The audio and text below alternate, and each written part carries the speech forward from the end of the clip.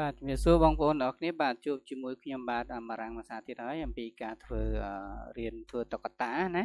ហៅថា cartoon metaphor ហើយនៅក្នុងនេះខ្ញុំបាទចង់លើកយកនៅហៅថា G3 animated probe ណា probe នេះបានន័យថាសំដៅទៅលើនេះ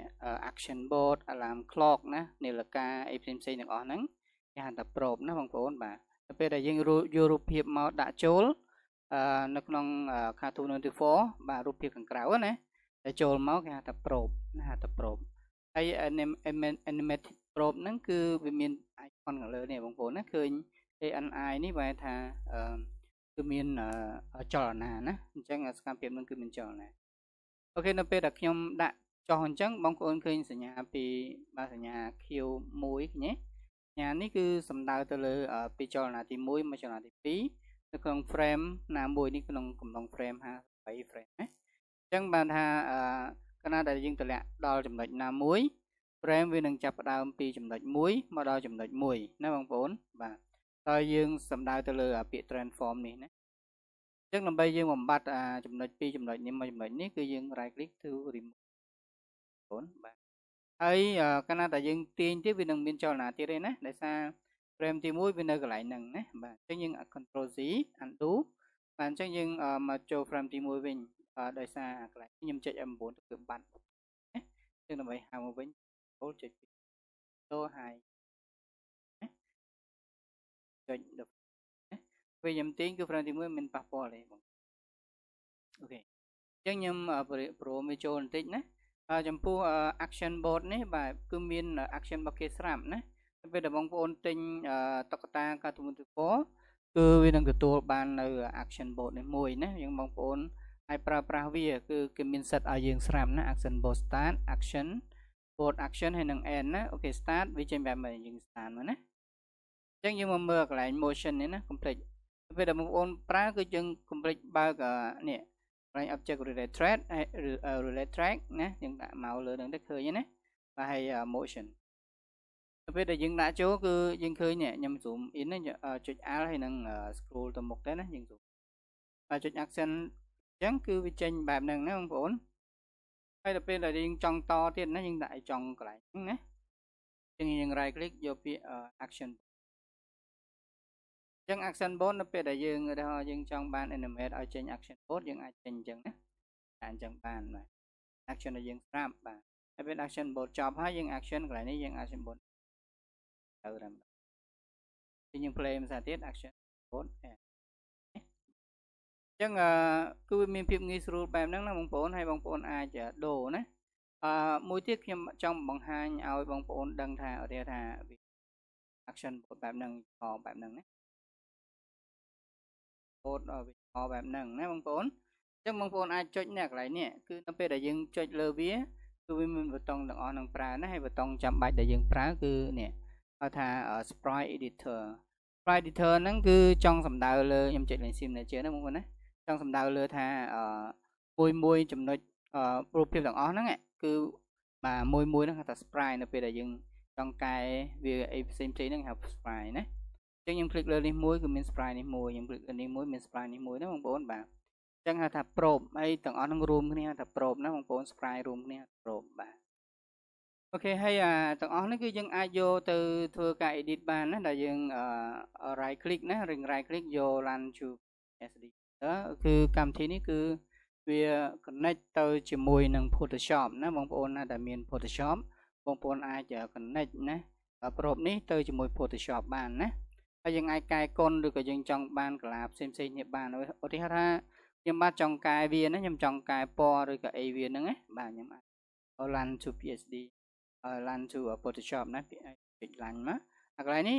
យើង scale វា scale ធំតូចណាបងប្អូនបាទយើង scale ធំនេះក៏តូចបាទចុច គឺយើងរត់ទៅកន្លែងមិញឲ្យ convert មកថាវាជា vector ពេលជាចូល Photoshop គឺវាទៅជារូបភាពណាបងប្អូនបាទអញ្ចឹងនៅក្នុងចូល Photoshop នោះគឺបាទនេះខ្ញុំកាត់កាត់ណាដោយសារយើងអត់រៀនលំបាត់កន្លែងហ្នឹងណាបងប្អូនក៏បង្ហាញណាអញ្ចឹងវាចេញ L pivot ហើយនិង image pivot គឺជាចំណុចណាចំណុចដែលយើងវា action កន្លែងនេះពេលដែលយើងចុច control T មកវាវិលចេះបាទដោយសារ pivot វានៅណា វាវិលមកគឺវាណាបាទហើយអា pivot នេះគឺអាចំណុចនេះគឺវានៅកណ្ដាលណាយើងដាក់កន្លែងណាមួយបែរថាវាសំដៅលើ dummy ទាំងអស់ណាថាទាំងក្រុមនេះគឺទាំងអស់ហើយចំណុចនេះគឺកន្លែងវា start ដូចគ្នាណា point object pivot ណាពីនេះគឺត្រូវនៅមួយគ្នាណាបាទ អូខេអញ្ចឹងកន្លែងនេះខ្ញុំបើចាំបង្ហាញច្រើនណាបងប្អូនហើយអាគឺវាមាន2នៅក្នុងនេះគឺអានេះមួយនិងក្រុមនេះមួយណាបងប្អូនឃើញទេហើយយើងអាចចាក់ពណ៌ពីណាយើងអាចចាក់ពណ៌ពីលើហ្នឹងហើយខ្ញុំយកពណ៌ក្រហមហ្នឹងចាក់វាទៅឃើញបងប្អូនបាទចុច board នេះវាពណ៌មកយើងចង់ដូរពណ៌ដូរ style ដូរអីបានណាបងប្អូនយើងអាចវាយតាច់ លើនឹងបានតាច់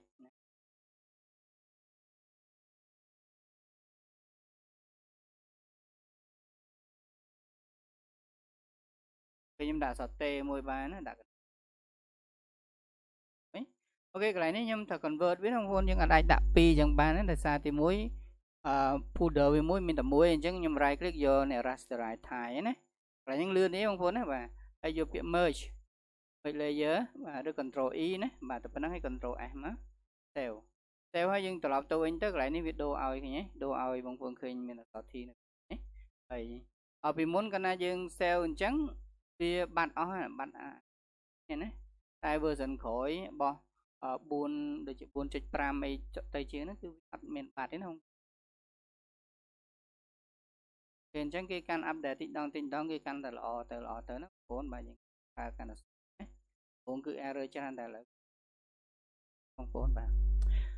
អូខេដល់យើងបើកវងកញ្ចក់នៅការដូរពណ៌ដូរអីតិចតួចហើយបាទយើងមកមើលអំពីឧទាហរណ៍ថាខ្ញុំចង់ឲ្យវាបាត់ណាខ្ញុំចង់ឲ្យវាចេញអញ្ចឹងបាត់ប៉បបាទហើយកន្លែងនេះ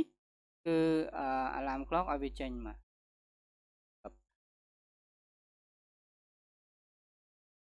ចឹងកន្លែងហ្នឹង alarm clock ហ្នឹងគឺចំណុចហ្នឹងណាអញ្ចឹងកន្លែងហ្នឹងគឺអាកន្លែងនេះវាបាត់ដែរតែខ្ញុំចង់ឲ្យចេញ alarm clock វាពីលើមកក្រោមឧទាហរណ៍ណាអញ្ចឹង ចំណុចនេះណាអញ្ចឹងចំណុចនេះវាមកដល់ក្រោមហើយណាណាអញ្ចឹងអញ្ចឹងពេលដែលយើងលេងទៅក្រោមបែបនេះណាអញ្ចឹងយើងចង់ឲ្យ anticipate ឬក៏ anticipate ហ្នឹងមានថាវាតម្លាក់ឲ្យវាឡើងមកអញ្ចេះឬក៏ឲ្យវាកពិតមិនចេះឲ្យវាត្រង់ទៅវិញអញ្ចឹងណាបាទចឹងយើងអាចរៀនក្រោយទៀតបានណាដោយសារយើងឥឡូវយើងរៀន ហើយបើសិនជាយើងកន្លែងនេះយើងអត់លាក់វាណាវានៅបង្ហាញចឹងឃើញទេចឹងបងប្អូនអាចលាក់វាដោយយើងចុចលើនេះគេមើលលើតិចមកចុះយើងចុចនេះរូបហើយនេះចុចបិទឲ្យបើកចឹងមកបងប្អូនស្រួលហើយបាទចុចត្រឡប់មកប្រេមទី1ចុចបាទបាត់ហើយណាទៅពេលវារត់លេងមកដល់តំនេះ ចឹងពេលវាចុះបានប្រហែលជាប្រហែលប្រហែលជា5 frame អីចឹងណា5 frame មក frame frame មកចុចចុចចុចនេះ frame ហ្នឹងបងប្អូនណាបាទចឹងកុំឆ្ងល់ថា frame យើងពេលចឹង right click យក action menu អានេះដោយសារគេឲ្យយើងមកហើយណាចឹងយើងមើលថាកន្លែងនេះគឺ second clock second hand ហើយយើងចុចមើល motion វិញខ្ញុំចុច space ដើម្បី stop ឬក៏ចុចកន្លែងនេះ stop បាទទេ stop ហើយហ្នឹងណា space អា space keyboard យើងចុច space យើងមើលចុចអា motion នេះយើងមើលវាណាមើលអា motion កន្លែងហ្នឹងវែងអញ្ចឹងណាបាទអញ្ចឹងនៅពេលដែលយើងដូរ motion កន្លែងដើមវាយើងចង់លុបក៏បានយើងលុបវិញចិត្តណាអេយើង right click យើងយក motion ទីអូខេបាទចឹងកន្លែងហ្នឹងគឺរបស់គេក៏គេមាន start ដែរគេថារបស់គេមាន start បែបហ្នឹងណាចេញបែបហ្នឹងគឺមាន start បែបហ្នឹងយើងបាច់ធ្វើអី ឲ្យយើងណាតែបើអត់ទេយើងអាចឲ្យវាចុះទៅលើបានហើយតកទៅបាទតំណាឧទាហរណ៍យើងឲ្យតំ15ឈប់បាទយើងរាយយើងកន្លែងនេះយើងคลิกវាមកណាហើយនឹងឲ្យជប់ហ្នឹងណាហ្នឹង click លើវាណា select លើវាហើយ control B ឬក៏ right click យកពាក្យ break ណា break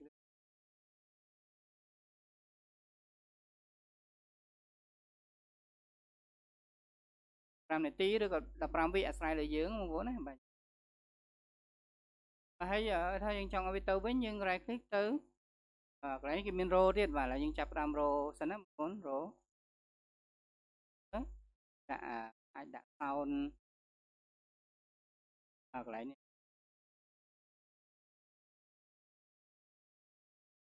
ណាទៅរកកន្លែង sound របស់យើងណាបាទ ហ្នឹងហើយយើងឲ្យវា end តែម្ដងណាគឺទេ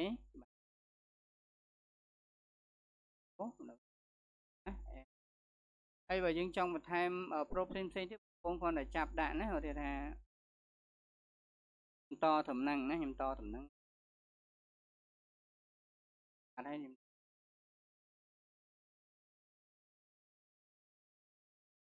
ថាខ្ញុំដាក់កាមេរ៉ាឃើញខ្ញុំទាញទៅមាន frame ទី1ទី2ឃើញទេអញ្ចឹងបងប្អូនមិនឆ្ងល់ទេថាអញ្ចឹង frame ទី1គឺវានៅអស់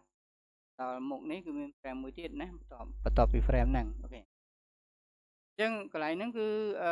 ខ្ញុំចង់ឲ្យកាមេរ៉ានៅបែបហ្នឹងណាបែបហ្នឹងហើយខ្ញុំ right click ថាខ្ញុំចង់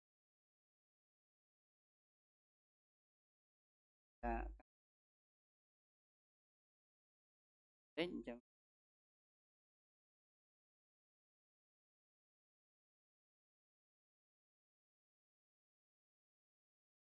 ngay bị bắt lại nhá. ta dùng motion à dùng vào mà khỏi tích nhưng click ở đây mà bốn.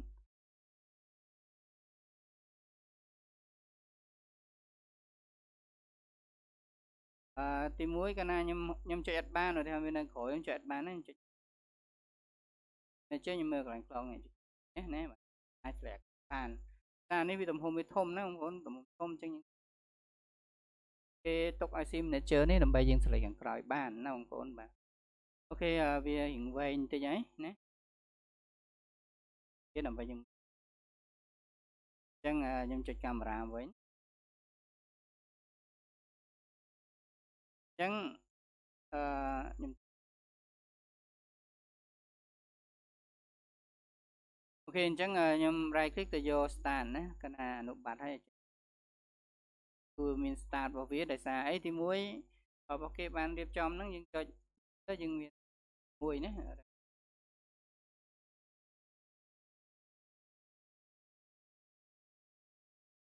ព្រោះហ្នឹងយើងចុច spray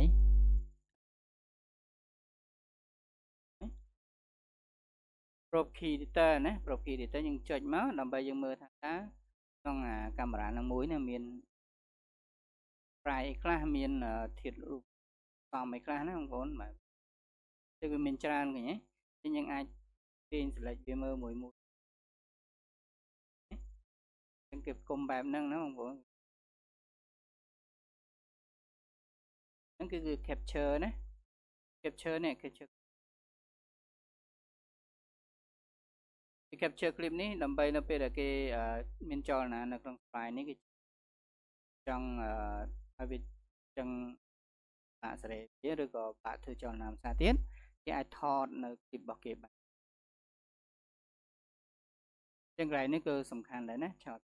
ហើយរត់បានមកស្ទុះយើងអាចកន្លែងនៅពេលដែលយើងឲ្យវាចេញហើយយើងថតក្របកន្លែងហ្នឹងតាមមើលពប់ អញ្ចឹងទៅពេលដែលថតហើយយើងឲ្យ VN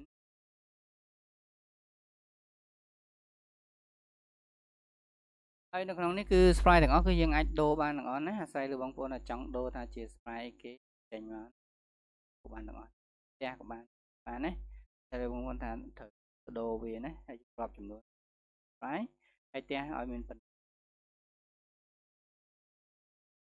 ដោយសារកាមេរ៉ាយើងអត់តំបានហាយណាបងប្អូនហើយបាត់ឲ្យអស់បាទចឹងកន្លែងកាមេរ៉ានេះណា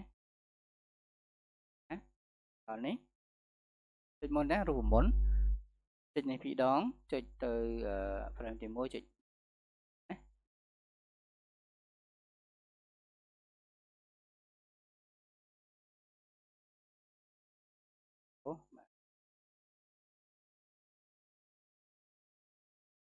គេឥឡូវយើងបញ្ចប់ប៉ុណ្ណឹងណាបងប្អូនអញ្ចឹងបើសិនជាបងប្អូនមានចម្ងល់អាច comment នាំបានណាអឺទី1យើងមិនចេះទាំងអស់ទេណាបងប្អូនយើងមិនចេះទាំងអស់ហើយក៏ប៉ុន្តែអ្វីដែលខ្ញុំគឺល្អហើយសម្រាប់យើងបងប្អូនដែលគាត់ចង់រៀនតុក្កតាឬក៏ហើយក្នុង channel ខ្ញុំបាទគឺមានចម្រោះណាមានទាំងការរៀនធ្វើ YouTube រៀនអីហើយបងប្អូនអាចតុក្កតាហើយ រៀនពីដើមណាពីណានេះគឺខ្ញុំរៀនកាត់ចន្លោះចន្លោះខ្លះខ្លះដែលបងប្អូនថាគាត់មានឬក៏ត្រង់កន្លែងណាណាគាត់អាចទូនាំបានខ្ញុំបាទអាចរៀបចំជូនហើយការបង្កើតតួអង្គឬក៏បង្កើតប្រូបង្កើតអីផ្សេងផ្សេងហ្នឹងគឺមានណាបងប្អូនអអាច comment សួរណាថាបងប្អូនអីចង់ចេះណាណា លើកលែងតែ G2 ទៅខ្ញុំអត់បានធ្វើណាហើយក៏ទីគឺខ្ញុំបានណាចំជីវិតឲ្យបងប្អូនបានណាអង្គធ្វើប្រូបអីផ្សេងឬក៏យ៉ាងណាផ្សេងៗណាបងប្អូន